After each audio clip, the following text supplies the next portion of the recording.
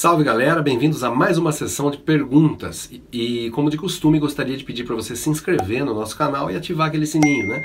Para poder receber as notificações das novas dicas, ok? Bom, hoje nós vamos responder ao Everson Endres e essa foi a pergunta dele. Tenho bastante dificuldade para memorizar as letras, e então tem alguma dica para você me dar? Bom, muito obrigado ao Everson pela pergunta. E eu suponho que ele esteja se referindo às letras das músicas que se cantam, né?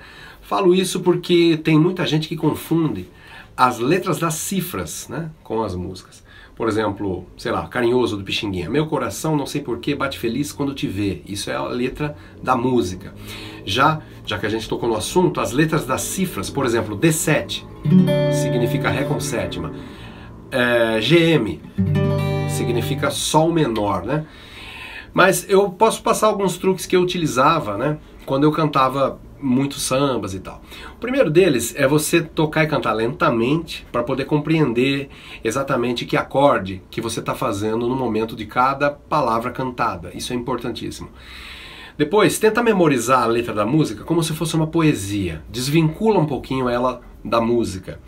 Se ela for muito comprida ou difícil de memorizar, quebra ela em vários pedaços pequenos e vai memorizando aos poucos. Depois de memorizada a letra, é preciso novamente vincular essa letra à música, né? E isso é mais fácil através do ritmo.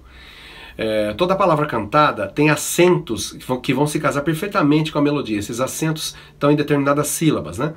Então você precisa encontrar essas sílabas para entender os acentos.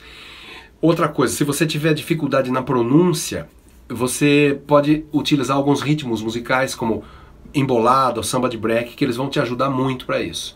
Eu vou dar como exemplo aqui um trecho de um, uma seleção de pagodes que foi gravada pelo grupo Fundo de Quintal no disco chamado O Mapa da Mina. É, num certo momento, Arlindo Cruz e Sombrinha fazem um, o que parece ser um verso improvisado que lembra muito uma embolada. É mais ou menos assim. Seu Chico Bento bota a barriga pra dentro. Quem mandou foi o sargento do primeiro batalhão. Houve uma blitz do morro do juramento. Foi tremendo o vucu foi tremenda confusão. Eu tô de ronda na esquina, cacete é de borracha, não pode faltar. Eu dou em cima, dou no meio, dou embaixo. Quem mandou foi o sargento da polícia militar. Né? Isso pode te ajudar muito, esse tipo de coisa que lembra embolada. E, claro, existem vários canais aí de cantores e cantoras, que eu não sou cantor, né? Que vão poder te dar dicas valiosíssimas para aprimorar o seu canto. Né? Vale a pena conferir. E por hoje é só, nossa dica fica por aqui.